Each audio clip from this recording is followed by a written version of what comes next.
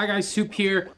Trying to upgrade your rig without spending a ton of money is absolutely impossible in sim racing, unless you are a DIYer. There are several videos out there about DIYing, but I recently got into 3D printing and I want to share some of my favorite things that I've 3D printed in order to upgrade my rig without emptying out my wallet. So in this video, I'm going to go over all the things that I've 3D printed for my sim rig. So I'm going to go in an order of what I like the least to what I like the most. So the first thing on my list is cable management clips. I've printed probably about 50 of these little cable management clips, and I was able to take a messy sim rig with cables all over the place and kind of clean it up and make it neat enough that I have one plug going into the wall and one USB plug going into my PC, which is the way it should be on your sim rig if you really want to get into cable management you stick it into the, the slot on your aluminum profile like this on your sim rig, and then you turn it, and then you can feed cables through through these part right here. I would, the only uh, criticism I have of this design, and I could have redesigned it myself, but I found these on Thingiverse. I'll put a link below to all the STL files and, that I go over here. Um, but the only thing is, is that, that that arm is a little weak. I think I would like to make that a little thicker. So I may redesign that at some point. But cable management is definitely something that, that I benefited from. And while it was pretty awesome, it is actually my least favorite out of everything that I've printed. So going on to number two here, kind of in the same vein as cable management, PSU and rig mounts. So my pedals have a, a PSU brick that goes along with it. My wheelbase has a PSU brick that goes along with it. And those things just were kind of laying on the floor before.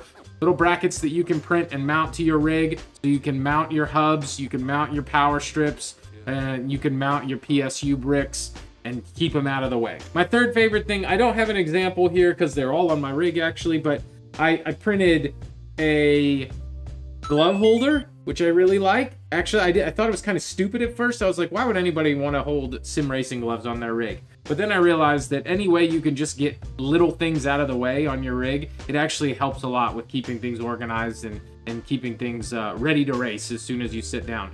So I printed uh, a headphone holder, a headphone hook. Uh, I printed I printed a a uh, phone holder, just a place to put my phone whenever I'm sitting in the rig, so it just kind of goes in right there. I don't know if you can see that. And I don't know. Now that I'm saying these out loud, I kind of think like cable management may be a little higher on the list than these accessory holders, but I digress. So number four is my Arduino Nano mount. So an Arduino Nano, I have an example right here, is a little tiny chip that you have to do a little bit of soldering to get some uh, cables connected to any kind of, well, it's not just any kind. They're the WS, I forget what they're called exactly. They're they're WS12B. I don't know. Off oh, the. Drop that hold. No, I, I can't remember what they are. But anyways, I'll put it in the in the description. I can't keep this thing in my hand. Where the heck did it go? What the? But I made a little box to hold this Arduino Nano chip and mount it onto my rig, and then I connected it to a strip of LED lights similar to this. Not exactly like this. Teddy man, I'm doing a video. I'm doing a video. Okay? Yeah. Why don't you go lay down, okay? So the way that I use that light strip is I ended up mounting it underneath kind of my dash here, I guess you could say. And so what it does is, let me turn on the lights here. They're actually off right now. Let me give them a good color. So what it does is, is it lights up, it lights up my button box, which I'll talk about here in a minute. And then it also changes based on flags. So as I'm driving, as I get yellow flags, as I get a green flag, it'll change colors. And I have them turned down really low. If I decide to turn them up, you can see, man, these things get really bright. Uh, and I don't like them that bright, so I leave them around like 10% or so, 5% even would be fine. I think I have a tie for the favorite if I really think about it. But next to last favorite is redesign of my button box. So some of you have seen the video of my button box and I use one of those big bulky project boxes that you can buy on Amazon. I ended up redesigning that button box and making it a little slimmer and a little nicer fit, and I cut down the amount of uh, switches that are on it because I just didn't use all of them. But I definitely use the ignition switch, I definitely use the remote start, and I definitely use wiper wiper and headlight I actually don't use headlight toggles, but I use wiper toggles quite a bit, and I left the headlights on there because everybody knows you gotta have your headlights to be able to pass somebody in iRacing. So, uh, redesigned that button box, mounted it in a different area so I wasn't using up so much of my sim rig space here. And then my tie. So I have a tie for my absolute favorite thing that I 3D printed.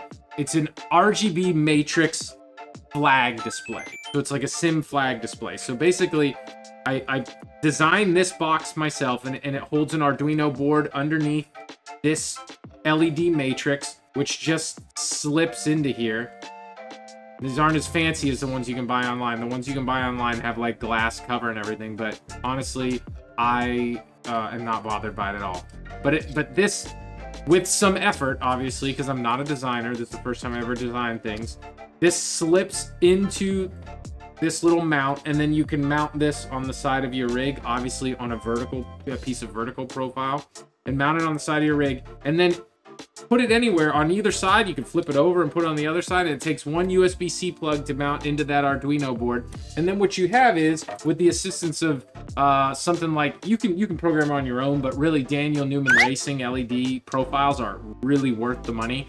But it'll show you the gear that you're in. It'll show you any flags that are displayed. It shows you when you're in the pit. It shows you when uh, you uh, need to turn your ignition on. It tells you when you need to hit your start button, obviously, if your car's not running. It does a whole bunch of things that are really awesome. And I've actually gotten very used to using it to the point where I thought, hey, this is just a cool addition onto the sim rig. Now I actually depend on using it quite a bit. This is absolutely the coolest thing that I have 3D printed. So I used, you know, I it's it's got three parts, and I borrowed something on Thingiverse and redesigned it for my own liking. But it's got a, a front, a middle, and a back. Okay, and and so three parts that you have to print to make this thing work. It's got an Arduino board in it for the LEDs, and then it has a couple USB cables connected to the back and a 6.8 inch Vocore screen. So overall, this thing cost me, if if I didn't have to buy things in bulk, it cost me about a hundred dollars to make this thing. That's not including the filament cost and like glue and uh, and little wires that I had sitting around. But in parts that I had to buy, about a hundred bucks. Uh, if I if I priced only the parts that I included in this, but since I had to buy some of the stuff in bulk, I actually spent around 150 bucks on this. And I think one of these dashes probably would cost someone at at least $200 if you wanted to buy it right off the shelf.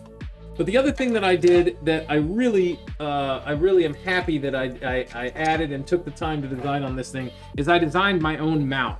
And what I did was I redesigned the back of this thing, and you can't see it here unless I open it up, and I'm not going to open it up. But on but on the inside of this DDU, there are actually magnets, and then sorry, it won't go that way. And then I designed this mount so I could just stick it on and magnetize it wherever I want and stick it on and change it based on what wheel I'm, I'm racing with. When I'm racing with my GT Neo, I want it in front. When I'm racing with this round wheel, it's too big. I probably should have got a 5 inch for the round wheel, uh, but I wanted the 6.8 inch and I mounted off to the side on a different mount with some different magnets that I have sitting there. So I, if you're not familiar with Lovely Racing dashboards, you need to be familiar with that. That is the program that, or that is the I guess it's the SimHub add-in uh, that I use to make this all work right here. The LEDs, same as the LEDs I went over before, same as the flag box, same as the as the LEDs I have mounted underneath the rig. They're just controlled by an Arduino uh, Nano. But you can see I'm in the pits right now. Let's go ahead and get out of the pits. But if I turn the limiter on, for example, stop it. If I turn the limiter on, you got that that effect there. Um, it's really cool actually when you when you turn the car on, you get a nice little woo, little effect there. You got your RPM indicator right across the top there. And with the Daniel Newman Racing LED profiles, this changes based on what car you're in. So I can actually change that in SimHub. So as I'm, I'm revving the engine there, you can see um, for the GR86, which I'm in right now, it goes from green to yellow to red and then goes blue. You know, go left to right for example, and use all 16 of them. So same type of thing, just all 16 LEDs. I can make it meet in the middle, which is really cool, I think. Uh, I can do F1 style. I don't even know what F1 style is. Let's see. I don't understand that, but apparently that's F1 style. But I, I kind of like the left to right, and I kind of like it for each specific car, so it kind of mimics the dash that each specific car has. Um, so I, I generally leave that on. But on top of all that, I can change the colors too. I mean, if I wanted to do, you know, white, I could do white. If I wanted to do Arctic is another option. There are just so many options with this Daniel Newman Racing LED profiles that you can add in and the add-in in the SimHub. It's really, it's really worth the money. It's really a cool add-in, especially if you're going to do some projects like this and add on um, any sort of LEDs. But anyways, this DDU, absolute favorite thing that I 3D printed for sure, with the flag box in a very, very, very close second.